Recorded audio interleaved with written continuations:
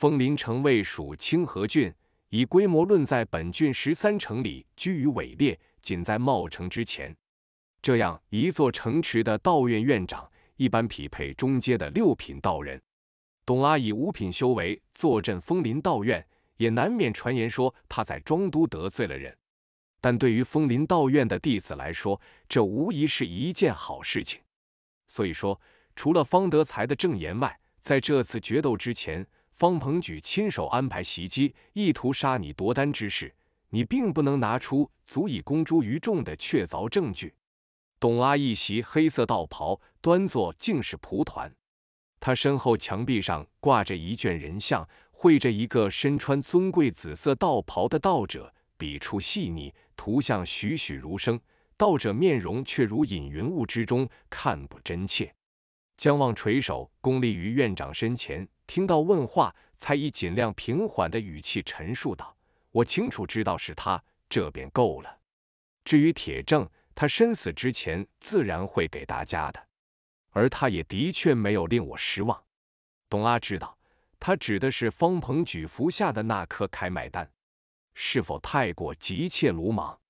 本应徐徐图之，罗列证据，以待道远裁决。可两日之后便是内院选生的时间，方鹏举既已显现到脉，那便定能成为院长的弟子。时间紧促，只能行险。姜望敢杀外院弟子，但不敢杀院长的弟子。外门只是预备，内院弟子才是真正的道院弟子。说话的时候，姜望始终垂首，表现出弟子应有的谦卑与本分。但此时划过脑海的，却是环真关外那自西而来的贱笑声。那个名为李一的男人，一剑便将强如左光烈这等天骄枭首。乃用得着百转千回？相较于发生在还真观外的那场战斗，他是何等弱小！他引以为豪的剑术又是何等孱弱！哪里有时间去磨磨唧唧，为求一个万全的方式，在道院与方鹏举慢慢周旋呢？再者说，若非今日这样单剑直入，悍然发起到正决斗，以其他方式交锋，他又哪里有背靠枫林方家的方鹏举优势大？如果说方鹏举所用的开脉丹是夺自于你，那么你的开脉丹从何而来？来了。江望心中稍紧，但面上不露分毫。发生在环真观外的那场战斗，即使由于当时强者的威势一时无人敢进，但事后也必然会引发查探。况且公羊白等人设阵于中国境内，不可能不提前与中国强者通气。庄国再小，也有一个国家的尊严。作为整个枫林城域明面上的最强者，董阿对于那场战斗不可能没有了解。好在整件事情中，姜望并没有什么秘密可言。在这个拥有超凡力量的世界，他留下来的痕迹也不可能瞒得过去。当下，他便尽量用最客观的角度，不掺杂任何主观态度的描述了当时所听闻的一切。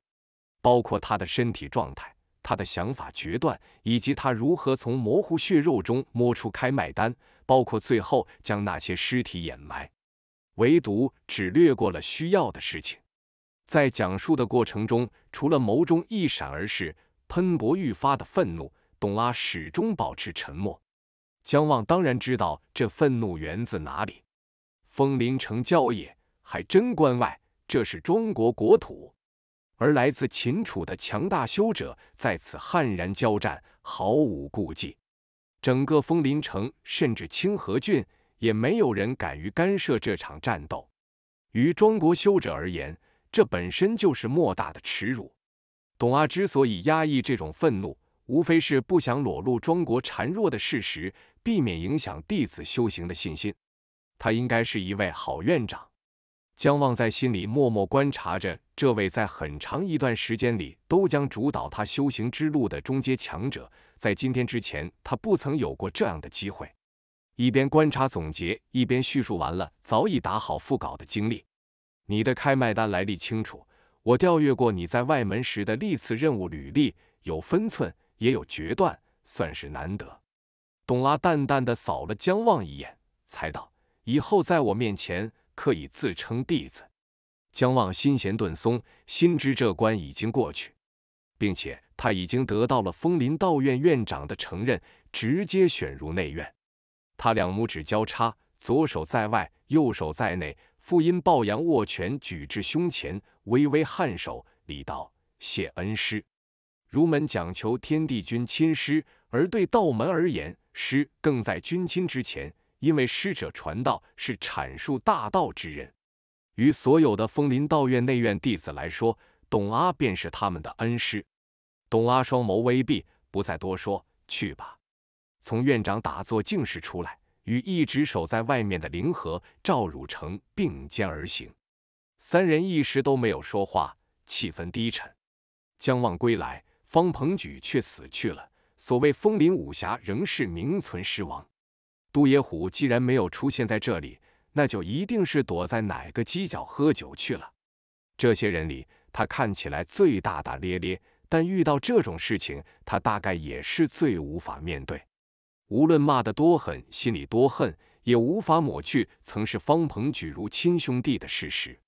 作为老大哥，林和最先打破沉默：“你们先回社里，我还得把彭举的尸体送回方府。”枫林道院外门弟子是六人一社，枫林武侠因为意气相投，索性便搬到了同一社里。其他人也进不了这个圈子，所以他们一直是五人住一社。江望没有说话。林河就是这样的性格，无论方鹏举有多少不是，他也不可能不管他的尸体。还在恨老四吗？林河问。不要再老四老四的叫了。赵汝成俊美的脸上露出一丝厌弃。我耻于谈论这种谋害兄弟、卑鄙歹毒的人。相较年龄，林和的面容过于老成了些，大概这也是他更容易得到信众的原因。在五人中。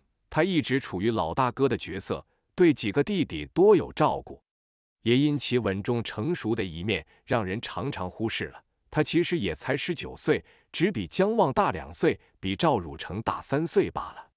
只是穷人的孩子早当家。看着林和，姜望摇了摇头，出声道：“恨他犯不上，我只恨自己愚蠢，恨自己错信罢了。”尽管他表现得如此平静，林和还是听出了那一丝无法释怀的怨气。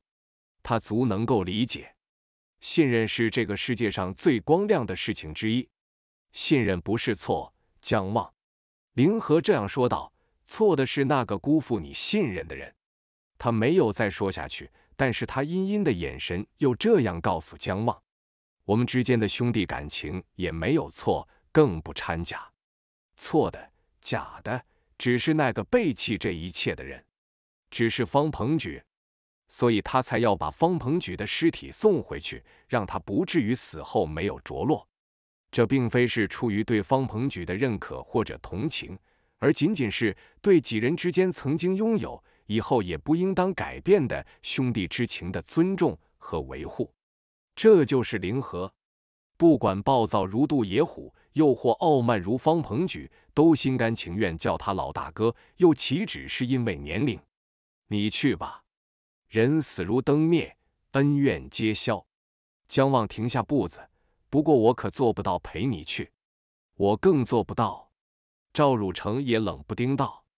林和拍了拍赵汝成的肩，又深深的看了姜望一眼，便转身离去了。